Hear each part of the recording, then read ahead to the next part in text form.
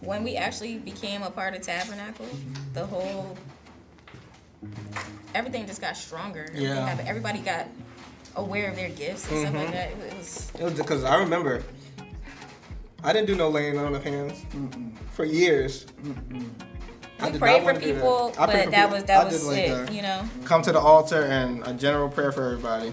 I just know I started having all these dreams and stuff. I'm just like, this is great. This is amazing. Yeah. Yeah, when we got connected to Tabernacle, it was just Yeah, I didn't know the Holy Ghost before till Not like I didn't know. I didn't.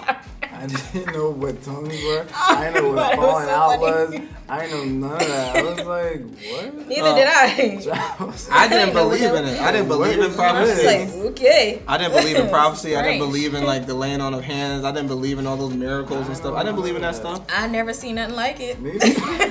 But the funny thing is though, Never My first- nothing like my first church was a church of my first church was a Church of God in Christ. And I remember when I was younger, he used to do these prayer lines, and you, you know we used to watch people get healed.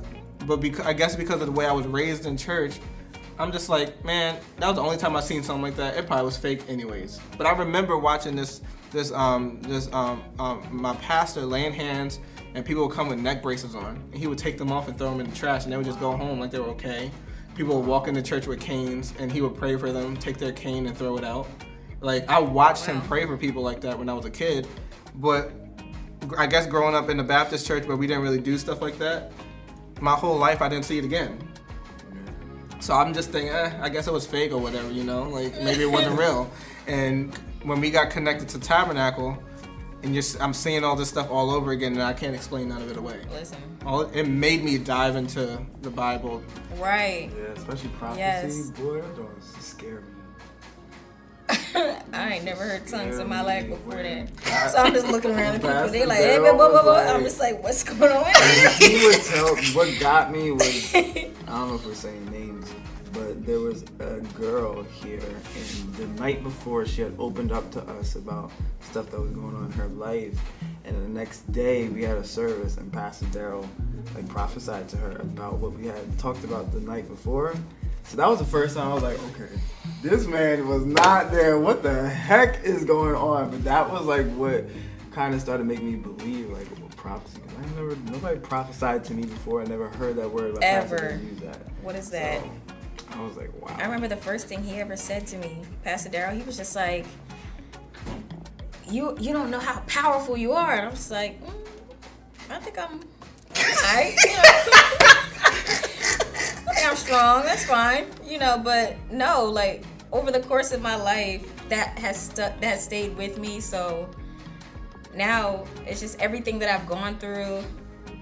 I just always feel like God really did make me a powerful person because anybody who, the next person that will have dealt with what what I dealt with, they could have collapsed under pressure. Yeah. You know what I'm saying? So You talking about that reminds me of when we first got connected to the church. Pastor prayed for Jasmine, right? And so everybody's going out. Like everybody's, he, he's praying for everybody, and, and he gets to you Jasmine. about to embarrass me. And Jasmine, he's praying for Jasmine. I'm looking at Jasmine like, dang, is she about to go out? Is she about to go out? She goes out, right? And she's on the floor looking around. And then when she gets up, she walks over to me and is like, I just fell down because I thought that's what he wanted. I did. You know, like I said, it was fake fell out in church. I Don't looked tell at me- her. He's probably gonna see this video like, I looked at her, I was like, don't you ever do that. Uh, I just fall down because everybody else fell down. and I knew something was off because the way she fell was just so like pretense. Thought, you know, I'm gonna fall out too. Like, and to this day, I've never fallen, fallen out. I came close one time. I came close. I just felt myself going back. I said, "No, we're not gonna do this today. Nah, I'm not falling out. Because I can sometimes like, receive it's just these mad people are on you and they like kind of pushing you. mm-hmm. I don't even like- think it was that. Like it's But like I, a- I felt that before. People like really going in, and put their hands on your head, and it's you just like, all right, come on. it, but I I don't remember know. one time I was I was pretty much battling with this preacher. I was at some church and he laid hands on me. I used He gripped like the back of my head. He was trying to like make me. He was just, and I'm over here walking with like I'm going. I'm following you.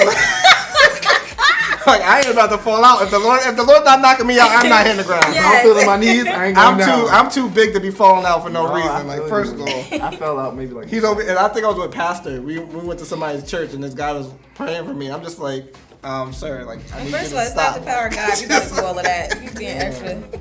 Just tap me on my head, okay?